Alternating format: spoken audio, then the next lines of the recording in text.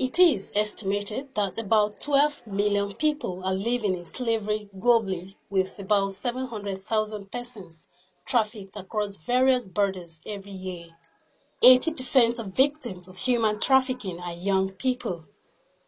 Though the Trafficking in Persons Prohibition and Enforcement Act is enforced in Nigeria, human trafficking has remained a challenge in the country.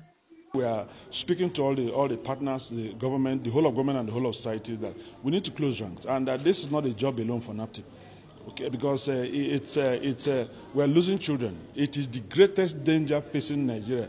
The human security implication of trafficking cannot be cannot be quantified. It has it is huge, and we just have to put hands on the deck to make sure every hand that wants to support NAPTIP will be encouraged, and will also be will be appreciated by NAPTIP prevention and to look at the drivers of human trafficking, protection of the rights of the victims, and then prosecution for those who are traffickers, those who are guilty of this heinous crime.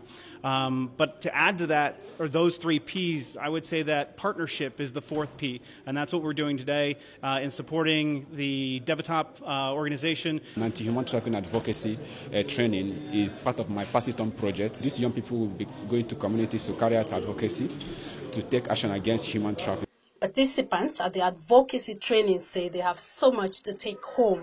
Very important program for us as a society with the high rate of humans that are being trafficked from Africa and will be able to impact the society at large. A good program, you know, in order to help to combat this menace that is actually eating deep in Nigerian economic development.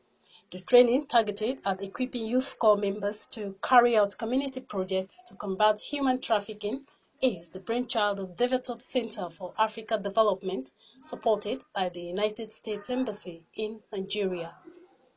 Aqua Ona, AIT News, Abuja.